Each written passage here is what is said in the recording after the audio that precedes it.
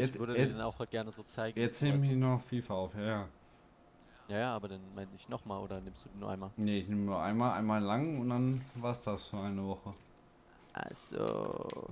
Ich nehme immer im Voraus auf. Also, was, nee, was heißt im Voraus? Ich nehme halt, äh, sag ich mal, nicht nur zwei, drei Folgen am Arsch ey. und dann äh, so ein bisschen mehr. Weißt du? Ja, ja. Verstehst du oder verstehst du nicht? Hm. Verstehe ich voll und ganz, Digga. Ich weiß schon, ich habe schon eine richtig geile Idee, wie ich das Kanalbanner mache. Das Kanalbanner. Ähm. Den Kanalbanner, sorry. Ich wollte sagen.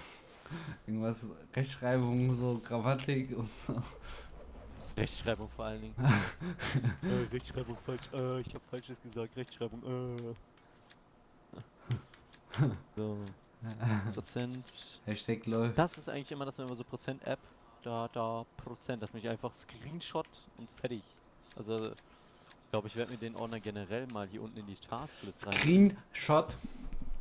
Habe ich das an die Tasklist angeheftet? ich bin so ein Skiller. Scheint, scheint, Screenshot. scheint ja so ein richtiger Babo zu sein. Ich bin ein richtiger Babo Chabola Babo, Alter. Oh Gott. Babo. Hat sich gerade ein bisschen komisch angehört. Ein bisschen ist gut. So, aber das ist auch erledigt. Zack. Speichern. Hi. Äh. Ähm.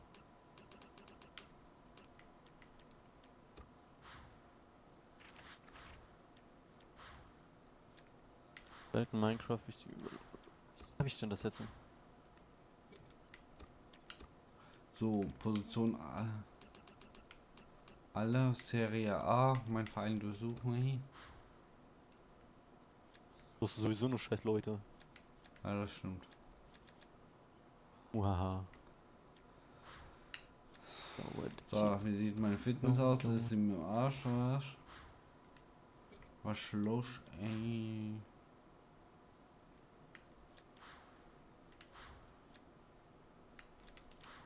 Habe nämlich eine richtig geile Idee, wie ich den Banner gestalte.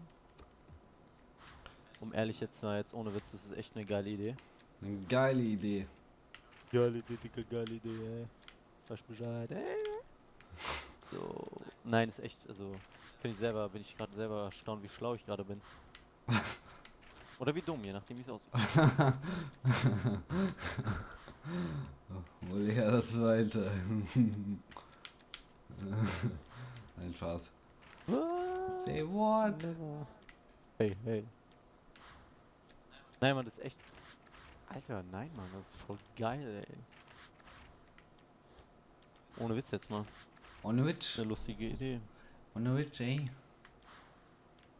Dann mach ich mir, werd mir das mal ganz einfach machen. Einfach hier mit der runterliegenden Ebene verbinden und dann hat man das auch schon. Hangover, hell Runter machen.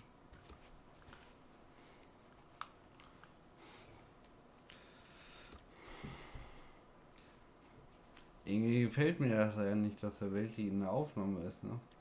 Weil kaum, Warum? kaum ist der Welt in der Aufnahme, schon verliere ich ein Spiel nach dem anderen, Alter. Ja, und da kann ich jetzt was. Ist, äh, ja, ist natürlich logisch, ne? Immer schön auf die anderen schieben. Ja, ja, das ist leicht getan.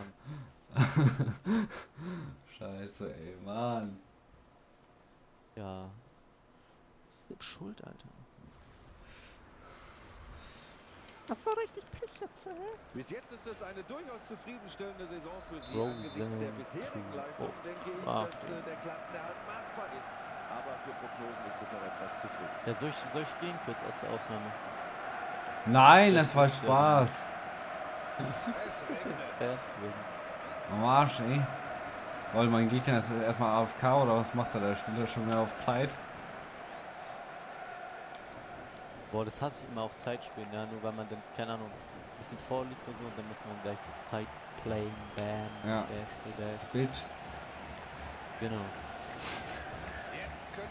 Finde ich immer ein bisschen doof, um ehrlich zu sagen, weil das ist so ein bisschen, das zeigt so von nichts. So, so von Schwäche irgendwie, keine Ahnung. Ja, weil man dann Angst hat, so, ah, man verliert, äh, bleib ich wird noch ein bisschen so, oh, Arschlecken.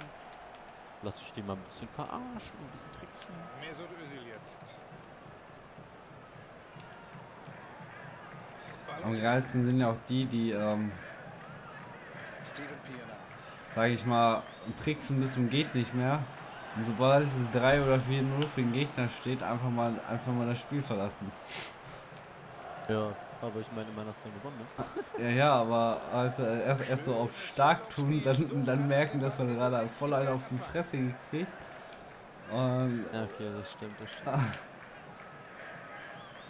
Das stimmt schon. Also ich spiele meine Spiele generell immer zu Ende, egal wie, wie ich spiele. Ja, ich meine, ist auch, ist auch ein bisschen okay, jetzt. Außer- ich außerdem- weiß auch, ist ein bisschen ehrenlos. Außerdem, außerdem geht es auch ein bisschen so um Spaß. Ich glaube, der Spaß soll im Vordergrund stehen. Und Das finde ich auch. Also gerade der Spaß, weil ich meine, es nützt ja nichts, wenn du im Endeffekt zu spielen oder so, dann kannst du ja auch gleich sein lassen, um ehrlich zu sein. ja. Und will ich jetzt ja auch nicht Let's Playen und will es ja einfach nur Quatsch, wenn ich keinen Spaß am Spiel hätte, weißt du? Ja, ja, ja, glaubst du. Auch wenn FIFA mal ab und zu mal ein bisschen scheiße ist, aber gut. Ja, muss man halt so manchmal. Ja, ist manchmal echt. Muss man. Ist manchmal ein bisschen.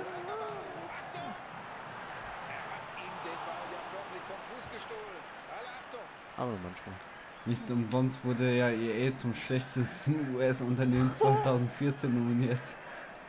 Oh ja. Gute Übersicht. Im richtigen Moment. Ich würde sagen, er richtigen geil. Ort. Weil dann vielleicht. Vielleicht wird EA dann mal bewusst, dass sie mal lieber Spieler rausbringen sollten, die auch von Anfang an funzen und wo man nicht jetzt weiß wie viele Dreckspatches braucht, um diese Kacke wieder am Laufen lassen. Das stimmt. So wie Bugfield 4 zum Beispiel. Ja, Battlefield 4 oder. Äh, nee, muss ich sagen, Und der Battlefield Schiedsrichter 3 gepfiffen. an sich Und ging. Battlefield 3 war echt gut, aber Battlefield 4, Haben sie wieder zu verkackt. ja, das war das. Ähm, das war ja auch der, den, den Scheiß, der auf EA gewachsen ist, weil die wollten ja unbedingt das Spiel vor Call of Duty Ghost rausbringen. Und dann- und haben trotzdem Und dann hat man DICE damit so unter Druck gesetzt, dass sie selber nicht mehr wussten, was sie da überhaupt Und dann fabrizieren. kam das Spiel, kam das Spiel nur noch mit Bugs raus und im Endeffekt war es so gut wie unspielbar, weil du immer ausgerastet bist, weil irgendein neuer Bug aufgetaucht ist. Was ich ja ganz witzig finde, ist ja, ich glaube, das ist noch nicht mal ein Bug, ich glaube, das ist aber sogar gewollt, dass du mit dem Quad bei dieser einen mit, mit diesen hohen Towern und so da einfach in den Fahrstuhl reingehst, Alter, und du fährst mit dem Quad da hoch. Und bist dann auf dem Dach mit dem Quad. Finde ich mega geil, ist voll easy going, fährst einfach alle Leute und springst im Endeffekt dann runter, wenn der Tower zusammenkracht. Auf Rodrigo Palacio. Doch eigentlich geil gemacht. Easy going. Den Ja. Bitch. Der Ball ist hinten raus. Easy going, bitch. Nee, nee, nee. Boah, viel zu viel ganz Ich hoffe, die gefällt der Ball genauso wie mir, denn. Ja, ja, bitte schon. Der ist ja auch vom Welti gemacht. Ja, genau, Welti, ich habe ihn gerade angeschrieben und gesagt, hey, kannst du mir einen Banner machen, Frozen Crafting und so, brauchen wir hier ein bisschen was. Also, ja. Klasse gemacht, wie sie sich den Ball und. Ich muss, muss gerade selber lachen. Wenn du brauchst, sag Bescheid, ja, ich mach dir. Nee, ist echt, äh, Welt ist echt ein cooler Typ. Den finde ich auch immer nett, dass der immer da, da am Start ist und so. Weil das ist echt ein Typ, wo man sich drauf verlassen kann, wo man weiß, ja, der macht es. Und wenn er es macht, macht er es echt ordentlich. Ne? Ja, Also, da brauchen wir keine Angst haben, dass die Scheiße rauskommt. Ja, da haben wir das und damit haben wir, so wie es bisher gelaufen ist, wahrscheinlich schon die Vorentscheidung. Ist er. Mario Balotelli mit dem 2 Aber natürlich, 0. natürlich müssen wir auch Ja, Dankeschön an äh, Gaming Crew geben, dass sie uns äh, Stimmt. den sponsoren, den ganzen Server. Gaming Crew EU. Ähm, genau, ich. Gaming Crew EU, weil, äh, beziehungsweise die, ich denke mal, der Link von der Website wird auch in die Beschreibung kommen. ja, Ähm, wenn ich es nicht gerade verschwitze, dann ja. ja, ich werde dich schon dran erinnern, glaube ich, weil äh, auf jeden Fall dickes, dickes Dankeschön, dass wir da äh, gratis ähm, den Root mitsetzen dürfen mit unserem Server. Ich meine, ähm, lieber so nichts bezahlen, als 100 Euro bei Nitrado zu belechen. Äh, Nein, ich würde auch nirgendwo anders hosten, außer bei Nitrado, weil bei Nitrado weiß ich wenigstens, da läuft es, da jetzt immer im Endeffekt. Das stimmt. Weil ich mit anderen, sage jetzt mal, noch nicht so die Erfahrung habe, was das angeht. Deswegen, da ist, ich wollte gerade sagen, da ist Frozen schon die richtige Wahl. Äh, da ist ähm, das ist schon die richtige Wahl. Jetzt nicht nur, weil wir es auch gratis bekommen, bla bla bla, aber ich da auch äh, Leute auch privat kenne. Auf jeden Fall Dankeschön und um auch so halt ein bisschen Werbung zu machen. Wir sind halt auch gerade am Aufbau, was es angeht. Arma, altes Live-Server und so. Also Arma 3 als Live und so. Ähm, Ja, sind auch nette Leute dabei. Weiß ja, der Markus Nator hat auch schon Bekanntschaft gemacht, die habe ich auch hierher geholt. Ja. Im Endeffekt. Und eventuell, wenn ich es darf, da werde ich dann na nachher nochmal fragen, bevor ich das äh, in die Beschreibung kopieren, werde ich dann auch die TS-Daten oder beziehungsweise TS-Dingsbums da in, den Kom in die Beschreibung reinpacken, aber da muss ich immer gucken, ob ich das überhaupt darf. Ach, das ist glaube ich kein Problem. Müssen wir mal den Malo fragen. Ja, ja, aber ich frage die auch vorher. Jo, lieber voll fragen, als irgendwie im Endeffekt den Spieler einen auf die Schnauze zu kriegen. Ja! Aber wie gesagt, der Teamspeak, äh, wo wir, also der, Wo wir jetzt auch gerade aufnehmen, zum Beispiel. Ja, der ist, ähm, ist jetzt übergangsweise, da der Frozen Crafting Teamspeak, ähm, Real Life Server, äh, da der Teamspeak, äh, da der Frozen Crafting Teamspeak ein anderer sein wird, da wir halt da wirklich 100 Slots auf den Teamspeak packen, oder 110, aber wir sind nämlich gerade noch dabei, oder beziehungsweise haben schon eine Anfrage an Teamspeak gestellt, dass wir da eine neue ähm, ähm, Genehmigung bekommen, dass wir halt 500 Slots, wie gesagt, kosten können. Das können wir auf 10 Teamspeaks ausbreiten. Also das heißt, 10 Teamspeaks mit 500 Slots können wir zum Beispiel machen. So, weit, so lange reicht die Lizenz, ähm, weil wir nämlich auch für altes Live natürlich auch ähm, größeren Teamspeak benötigen. Und äh, deswegen dachte ich mir so, okay, für Frozen Craft gehen wir auch ein, da ja, so gesagt, die Babos, der, wenn man sich das geholt hat, ähm, auch äh, temporäre Channel bzw. permanente Channel machen können, die sie dann halt so lange haben, solange sie auch Babo haben. Und äh, deswegen wollten wir das nämlich so machen, weil wenn man bei der Teamspeak das so richtig ewig runterscrollen muss, ist auch scheiße. Von daher wollten wir das so machen und ja, Vielleicht kannst du mal erklären, was ein Babo ist. Babo. Ja. Äh, ach so, stimmt. Äh, wenn jemand sicher manche nicht kennen. Ähm, es gibt ja auf den also auf anderen Servern so, äh, ja, ähm, sowas wie, wie, wie VIP haben wir auch, na klar, aber da gibt es halt auch ähm, jetzt ähm, Elite. Und Elite finde ich so ein bisschen, denke ich mir so, äh, naja, denke ich mir jetzt so, hat, so heißt irgendwie jedes äh, Elite. Und dachte ich mir so, Babo ist halt so ein Wort, was sich so, sag jetzt mal, in die Jugendsprache eingeprägt hat. Und äh, da dachte ich mir so, ja, da lässt sich doch mit Sicherheit was Schönes draus machen. Und dann dachte ich mir so, okay, komm, kannst du theoretisch die Elite-Gruppe, sag ich jetzt mal, nach Anführungsstrichen, als Babo-Gruppe machen. Weil Babo ist ja auch so gesagt, mal so als der Boss, als der Babo halt sagen kann. Da dachte ich mir so, ja geil, komm, nimmst du einfach Babo so als Server, ähm, Wort so gesagt mit rein, zur Servergruppe. Und ähm, ja, deswegen ist es eigentlich so reingekommen. Die Idee hat nämlich ich und Apple. Golden Apple Tooth LP, der gute Mann. Ähm, und ja, deswegen, also ist eigentlich ganz geil, ist ganz nice. So, deswegen haben wir das eigentlich auch so genannt, um ehrlich zu sein. Der Apple, der leider auch aus dem Projekt ausgestiegen ist. Ja, aber der, glaube ich, ein, ein guter Besucher werden wird, glaube ich, wenn das Server fertig ist oder so. Oder der, den man mit Sicherheit auch mal überreden kann, da mal ein Video drüber zu machen. findet keinen Mitspieler. Das stimmt. Glaube ich mal. Aus dem Einwurf könnte sich was entwickeln.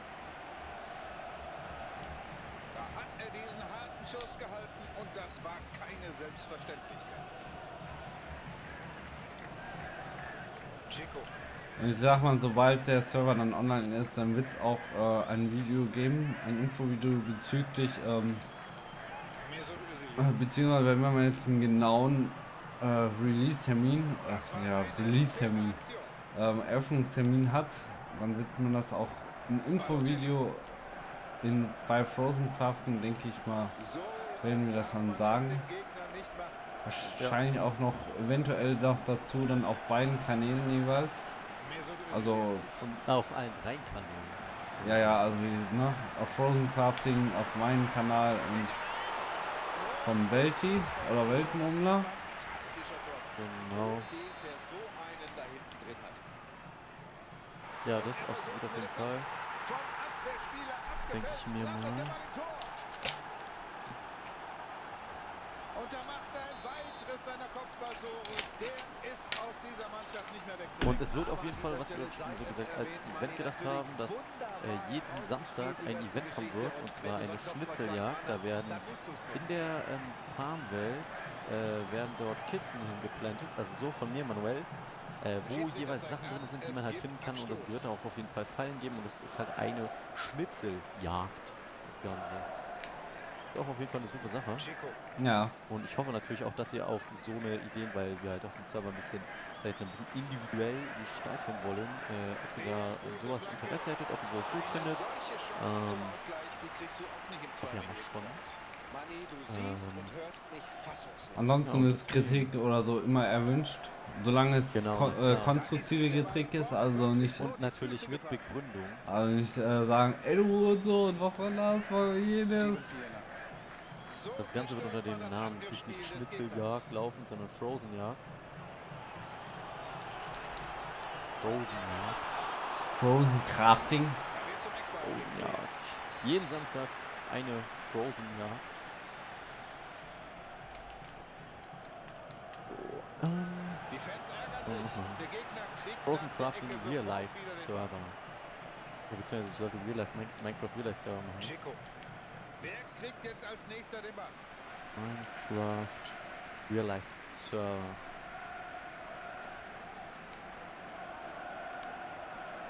Verdient.